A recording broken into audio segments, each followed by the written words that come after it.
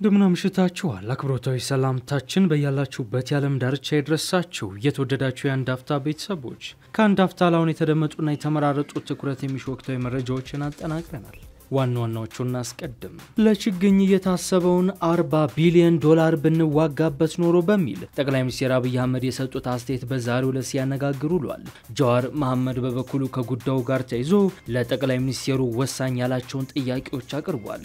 ዝርዝሩን ይዘናል። የመፈንቅለ መንግስት ስጋት የገባቸው ጌታቸው ከፍተኛ ጥበቃ እየተደረገላቸው ነው። በነ ደብረ ጽዮን ቡድን ስልጣን የመቀማት እንቅስቃሴ ስጋት የገባቸው ጌታቸው ረዳ በከፍተኛ አጀባ እየተጠበቁ መሆኑ በዛሬው ዕለት ተመላክቷል። በዛሬው ዕለት በከፍተኛ ጥበቃ ታጅበው ችግኝ የተከሉት አቶ ጌታቸው የትግራይ መዳኛው መንገድ ችግኝ መትከል ነው ማለታቸው ግን አነጋጋሪ ሆኗል። እንመለስበታለን።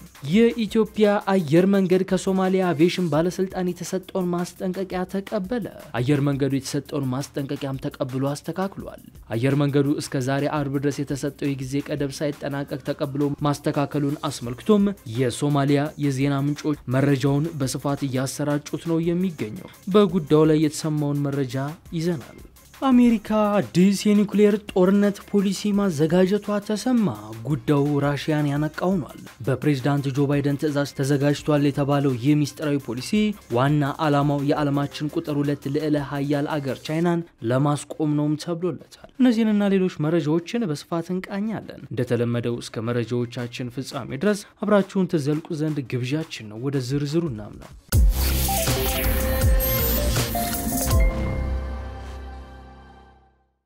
የኢትዮጵያ አየር መንገድ ከሶማሊያ አቪዬሽን ባለስልጣን የተሰጠውን ማስጠንቀቂያ ተቀበለ። ማስጠንቀቂያውን ተቀብሎም ነገሮችን አስተካክሏል ተብሏል። በጉዳዩ ላይ የሶማሊያ መንግስት በዛሬው ዕለት መግለጫ አውጥቷል። የኢትዮጵያ አየር መንገድ ወደ ሀርጌሳ ከተማ የሚያደርገውን በረራ ላይ የሚጠቀመውን የቦታ አገላለጽ እንዲያስተካክል የሶማሊያ መንግስት ያቀረበው ጥያቄ ተቀባይነት አግኝቶ ማስተካከያ መደረጉን የሀገሪቱ ትራንስፖርትና ሲቪል አቪዬሽን ሚኒስቴርን ጠቅሶ ቢቢሲ ዘግቧል። በኢትዮጵያ አየር መንገድ ድረገጽ ላይ እስከ ዛሬ ረፋ ድረስ ሀርጌሳ ብቻ በሚል ተጠቅሶ የነበረው ወደ ከተማዋ የሚደረግ በረራ ከሰዓት በኋላ ሀርጌሳ ሶማሊያ በሚልም ተቀይሯል። የኢትዮጵያ አየር መንገድ ይህንን ማስተካከያ ያደረገው የሶማሊያ መንግስት ከትላንት በስቲያ ለአየር መንገዱ በላከው ደብዳቤ የሉዓላዊነት ጥሰት ነው በሚል ማስተካከያ እንዲደረግ መጠየቁንም ተከትሎ ነው። የሶማሊያ ሲቪል አቪዬሽን ባለስልጣን በጻፈው ደብዳቤ የሉዓላዊነት ጥሰቱ አየር መንገዱ አገልግሎት ለሚሰጥባቸው መዳረሻዎች ከሚጠቀመው አገላለጽ ጋር በተያያዘ እንደሆነ ነው የጠቀሰው። የሶማሊያ መንግስት ቅሬታ ያቀረበበት መዳረሻ የኢትዮጵያ አየር መንገድ ነጻ አገርነቷን ያወጀችው የሶማሌላንድ ዋና ከተማ ወደ ሆነችው ሀርጌሳ ከተማ ከሚደረግ በረራ አገላለጽ ጋር የተያዘ እንደሆነ ነው የሶማሊያ ትራንስፖርትና ሲቪል አቪዬሽን ሚኒስቴር ኮሚኒኬሽን ዳይሬክተሩ ሙሐመድ አብዲ ኡስማን ለቢቢሲ ሶማሊኛ የገለጹት። ሶማሌላንድ እንደ አውሮፓውያን አቆጣጠር ከ1991 አንስቶ ነጻነቷን ብታውጅም ሶማሊያ የምትቆጥራት ግን እንደ ራሷ የግዛት አካል ነው። ከዚህ ቀደም የኢትዮጵያ አየር መንገድ በድረገጹ ላይ ወደ ከተማ የሚያደርገውን በረራ የሚጠቅሰው ሀርጌሳ ሶማሌላንድ የነበረ ሲሆን የአገላለጽ በቅርቡ ሀርጌሳ ብቻ ወደሚልም ተቀይሮ ነበር። የሶማሊያ ሲቪል አቪዬሽን ባለስልጣን በጻፈው ደብዳቤ አየር መንገዱ ያደረገውን ማስተካከያ እንደማይቀበለው አስታውቆ ነበር። አየር መንገዱ ጥያቄ የቀረበበትን የሉዓላዊነት ጉዳይ በመፍታት ፋንታ የሶማሊያ መዳረሻ ላይ የነበረውን አገላለጽ አስወግዶ የአየር መንገድ ኮድን ብቻ አስቀርቷል ሲልም ወቀሳውን ገልጿል። የድርጊት ዋነኛዎቹን ስጋቶች የሚያባብስና የሶማሊያ ሉዓላዊነት ዝቅ አድርጎ የሚመለከት ነው ሲልም ቅሬታውን አሰምቷል። አየር መንገዱ ቅሬታ የተነሳበትን ይህንን ጉዳይ እስከ ዛሬ እንዲፈታ ያሳሰበው የአገሪቱ ሲቪል አቪዬሽን ባለስልጣን ማስተካከያው የማይደረግ ከሆነ የኢትዮጵያ አየር መንገድ ወደ ሶማሊያ የሚያደርጋቸውን በረራዎች በሙሉ ለማገድ እንደሚገደድ አስጠንቅቆ ነበር። የኢትዮጵያ አየር መንገድ በበኩሉ ትናንት ለባለስልጣኑ ደብዳቤ መጻፉን የሶማሊያ ትራንስፖርትና ሲቪል አቪዬሽን ባለስልጣን ገልጿል። አየር መንገዱ ምላሽ በሰጠበት ደብዳቤ ጉዳዩን እየተመለከተው መሆኑን ገልጾ ለጥያቄው ምላሽ ለመስጠት የተቀመጠው ቀነ ገደብ ግን በጣም አጭር መሆኑን አስረድቷል። የኢትዮጵያ አየር መንገድ ባለፉት ዓመታት የተገነባውን የረዥም ጊዜ ግንኙነት ለማስቀጠል ሲባል ጉዳዩን ለመመልከትና ምላሽ ለመስጠት የተወሰነ ተጨማሪ ጊዜ እንዲሰጠን በትህትና እንጠይቃለን ሲል በደብዳቤው ላይ ጠቅሷል። የኢትዮጵያ አየር መንገድ ደብዳቤውን በጻፈበት ዕለት ምላሹን የሰጠው የሶማሊያ አቪዬሽን ባለስልጣን ግን የአየር መንገዱን ጥያቄ ውድቅ አድርጎታል። ጥያቄውን በጥንቃቄ በመመልከትና ያለውን የቴክኖሎጂ አቅም ከግምት ውስጥ በማስገባት አስፈላጊውን እርማት ለማድረግ ከሁለት ቀን በላይ ሊወስድ አይገባም ብለን እናምናለን ሲል ተጨማሪ ቀናት ያልፈቀደበትን ምክንያት ይፋ አድርጓል። ከትናንቱ የእነዚህ ደብዳቤዎች ልውውጥ በኋላ በዛሬው ዕለት አየር መንገድና የሶማሊያ አቪዬሽን ባለስልጣን ኃላፊዎች በስልክ ንግግር ማድረጋቸውን የአገሪቱ ትራንስፖርትና ሲቪል አቪዬሽን ሚኒስቴር ገልጿል። ኃላፊዎቹ ባደረጉት ንግግር መግባባት ላይ መድረሳቸውን እና የኢትዮጵያ አየር መንገድ በሶማሊያ መንግስት የተጠየቀውን ማስተካከያ ለማድረግ መስማማቱ ነው የተሰማው። ለችግኝ የታሰበውን 40 ቢሊዮን ዶላር ብንዋጋበት ኖሮ በሚል ጠቅላይ ሚኒስትር አብይ አህመድ የሰጡት አስተያየት በዛሬው ዕለት ሲያነጋግር ውሏል። ጀዋር መሐመድ በበኩሉ ከጉዳዩ ጋር ተያይዞ ለጠቅላይ ሚኒስቴሩ ወሳኝ ያላቸውን ጥያቄዎች አቅርቧል። የኢትዮጵያ መንግስት በየዓመቱ የሚያካሄደው የአረንጓዴ አሻራ መርሃ ግብር በአንድ አካል የሆነው የችግኝ ተከላ ሂደት በአንድ ቀን 600 ሚሊዮን ችግኞችን የመትከል ዘመቻ በመላው ሀገሪቱ ዛሬ ሲካሄድ ውሏል። ዛሬ እየተካሄደ ባለው የአንድ ጀንበር የአረንጓዴ አሻራ መርሃ ግብር ላይ ጠቅላይ ሚኒስትር አብይ በምዕራባዊ የአገሪቱ ክፍል ቤኒሻንጉል ጉሙዝ አሶሳ ከተማ ተገኝተው ችግኞችን ተክለዋል። በሁሉም የአገሪቱ ክፍሎች ውስጥ ከፌዴራልና ከክልል ባለስልጣናት ጀምሮ በሚሊዮኖች የሚቆጠሩ ነዋሪዎች በየአካባቢያቸው ችግኞችን እየተከተሉ መሆናቸውን የመንግስት መገናኛ ብዙሃን ልሳናት ሲዘግቡት ውሏል። በአሶሳ ከተማ ተገኝተው ችግኝ የተከተከሉት ጠቅላይ ሚኒስትር አብይ አህመድ በስፍራው ተገኝተው ያደረጉት ንግግር አነጋጋሪ ሆኗል።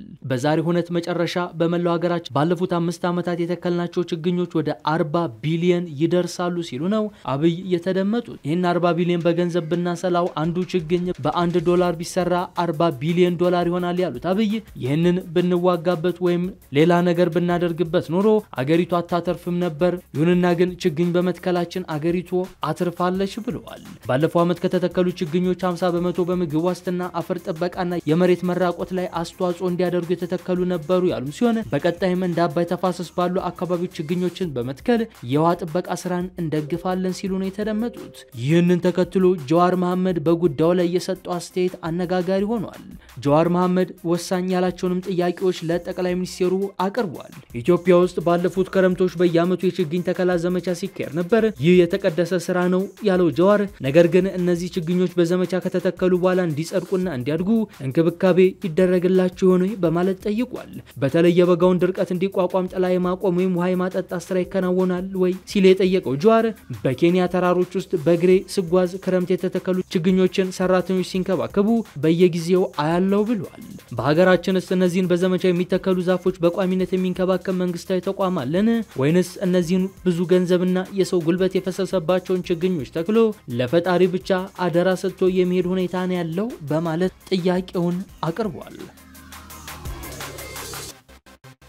የመፈንቅለ መንግስት ስጋት የገባቸው ጌታቸው ረዳ በከፍተኛ ጥበቃ ታይተዋል። በነ ደብረ ጽዮን ቡድን ስልጣን የመቀማት እንቅስቃሴ ስጋት የገባቸው አቶ ጌታቸው ረዳ በከፍተኛ አጀባ ሲንቀሳቀሱ በዛሬው ዕለት ተስተውለዋል። በዛሬው ዕለትም በከፍተኛ ጥበቃ ታጅበው ችግኝ የተከሉት ጌታቸው የትግራይ መዳኛው መንገድ ችግኝ መትከል ነው ማለታቸው ግን አስቆጥቷል። አቶ ጌታቸው ረዳ ከዚህ ቀደም ታይቶ በማይታወቅ ሁኔታ በሁለት ሶስት ዙር ከፍተኛ ጥበቃ ታጅበው ታይተዋል። ለወትሮ ቀለል ባለ አጀባ የሚንቀሳቀሱ የነበሩት አቶ ጌታቸው ከደብረ ጽዮን ቡድን ጋር ሰጣ ገባ ውስጥ ገብተው ስልጣናቸው ለመቀማት እንቅስቃሴ ከተጀመረ በኋላ ግን ጥበቃቸውን ያጠናከሩ ይመስላል። አቶ ጌታቸው በአራቱም አቅጣጫ ጥበቃዎች በቅርብ ርቀት ከከበቧቸው ባለደረታም አጃቢዎች በተጨማሪ በርካታ ወታደራዊ ጥበቃ አሰልፈዋል። ጌታቸው ሶስት አራት ዙር የተደራረበ ከፍተኛ አጀብ ውስጥ የገቡት የነ ደብረ ጽዮን ገብረ ሚካኤል አንጃ ስልጣናቸው ሊቀማቸው እየተንቀሳቀሰ መሆኑን ከተሰማ በኋላ ነው። በዛሬው ዕለት በከፍተኛ ጥበቃ ታጅበው ችግኝ የተከሉት ትግራይን ለማዳን የሚደረገው ጥረት ያለ ችግኝ ተከላ እዚህ ግባ የሚባል ውጤት አይኖረውም በሚል ነው ብለዋል። በኢትዮጵያ ቴሌቪዥን ቀጥታ ስርጭት ላይ ቀርበው ትግራይን ለማዳን የሚደረገው ጥረት ያለ ችግኝ ተከላ እዚህ ግባ የሚባል ውጤት አይኖረውም ሲሉ ጌታቸው መናገራቸው አነጋጋሪ ሆኗል። የጌታቸው መልእክት መነጋገሪያ የሆኑ በእነሱ አገላለጽ አሁንም ከህልውና ስጋት አልወጣችም የሚሏት ትግራይ በችግኝ ተከላ ትድናለች ማለታቸውን ነው። የጌታቸው ቡድን የትግራይ መዳኛ ነው ያለውን ችግኝ ሲተክል ቢውልም በጌታቸው አስተዳደር ላይ የመፈንቅለ መንግስት ስጋት የደቀነው የነ ደብረ ጽዮን አንጃ ግን በዛሬው ዕለት በአደባባይ አልታዩም። የተወደዳቸው የአንድ አፍታ ቤተሰቦች ለአሁን የያዝናቸው መረጃዎቻችን እነዚህን ይመስሉ ነበር። መልካም ምሽት።